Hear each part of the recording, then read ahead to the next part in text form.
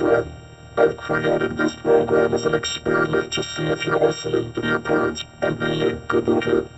I've set up a five-minute timer for when this iron will self-destruct and six chances for you to not do anything bad. We're closing this window. Be careful, and most importantly, be patient. Uh, I see you've closed my program. Now I have to double the timer to 10 minutes. Please, be patient. You don't want to get into trouble. Uh, no, no, no. You need to learn to wait. I've set a timer to 20 minutes now. Uh, uh-oh. You are now three chances away from losing your privileges. Please stop closing this window and wait for 40 minutes. Uh, could you please stop? You are not being good right now. Your timeout's getting longer.